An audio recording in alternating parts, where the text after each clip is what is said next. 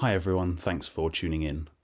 Glyphosate, the weed killer found in Roundup, is the most used herbicide in the world. As well as negative impacts on the ecosystems it's sprayed into, there is growing concern about its impact on human health. The chances are you're consuming it on a daily basis.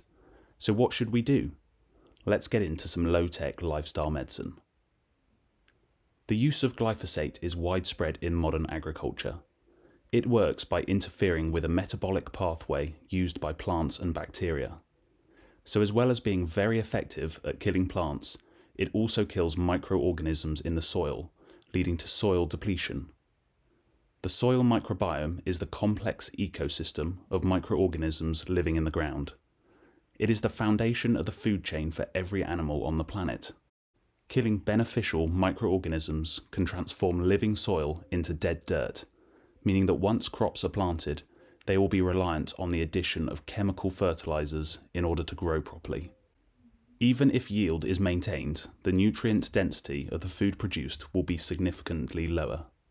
With decades of glyphosate use, soils may be so depleted that they become incapable of supporting plant life, potentially leading to crop failure and the possibility of future famines. At the same time, glyphosate is driving the development of superweeds. It's a similar picture to the emergence of antibiotic resistant superbugs caused by excessive use of antibiotics. Repeated use of glyphosate is causing the emergence of glyphosate resistant weeds, which in turn encourages even more pesticide use. Another factor in high glyphosate use worldwide are crops that have been genetically modified to be resistant to its effects. These so-called Roundup Ready crops can be doused in glyphosate, killing all competing plants and weeds.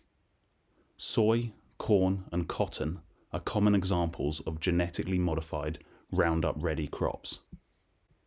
Glyphosate is also used for pre-harvest crop desiccation.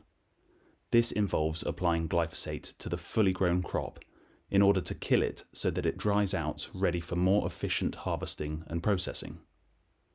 Crop desiccation using glyphosate is commonly used on grain, including oats and wheat. All these factors ultimately mean that when you eat food, you are consuming pesticide residues, including from glyphosate.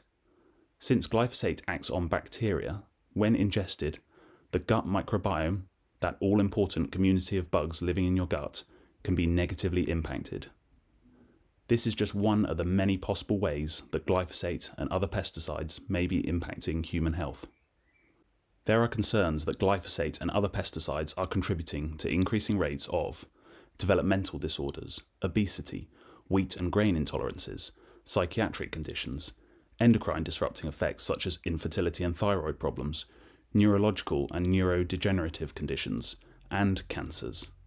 But not to worry because pesticide residues in food are loosely monitored by government agencies to make sure the amount consumers are ingesting is within the permitted maximum residue level. But how have these maximum residue levels been determined? Of course, long-term studies done over decades attempting to establish the consequences of repeated exposure to pesticides, including glyphosate, have not been done. Unless there are obvious short-term toxic effects, regulatory bodies seem to run on an innocent until proven guilty basis when it comes to the impacts of chemicals, including pesticides, on humans and the environment. But if the effects are gradual and result from cumulative exposure over years, the impact on human health will be harder to definitively establish.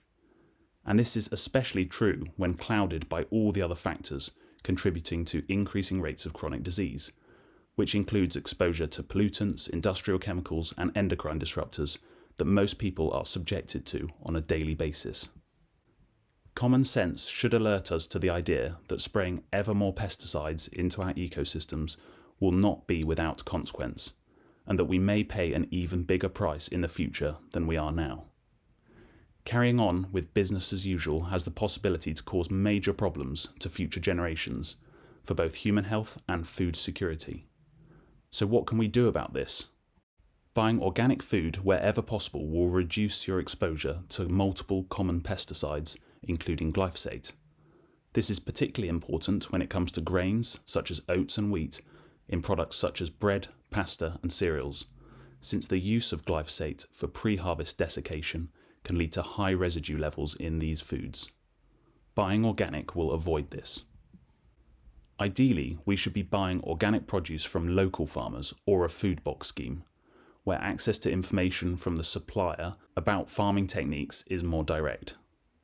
We should aim to support those actively engaged in regenerative farming, which seeks to use farming methods that promote and enhance soil health and fertility rather than negatively impacting it. Even better, of course, is to grow what you can yourself. Ultimately, we all vote with our wallet. If we keep voting for pesticide and chemical fertilizer dependent, low quality crops, that's what we'll get. And as levels of these pesticides build up in the environment, the effects on soil and human health are only going to intensify as time goes on. Invest in micronutrient dense organic food from local suppliers or food box schemes, and we can steer the market in a better direction for the future. And of course, do not buy glyphosate or any other pesticide from your local garden centre to spray on your own garden. I hope you found this information helpful. If so, please like this video and subscribe to my channel as this will be what enables it to grow. Remember, no matter what your starting point, changing your lifestyle can make huge impacts on your health and on how you feel today. If you want all the information to start your journey to a healthier, happier, more energy filled life, the Concise Nutrition and Lifestyle Guide is the book for you, containing everything you need to know on topics from insulin to the gut microbiome, circadian rhythms, dealing with stress, and how to spot overly processed foods, all with a focus on practical lifestyle interventions. We also offer personalised nutrition and lifestyle plans at our company Bosanquet Health. All the links are in the description. Thanks for listening. I'll see you next time.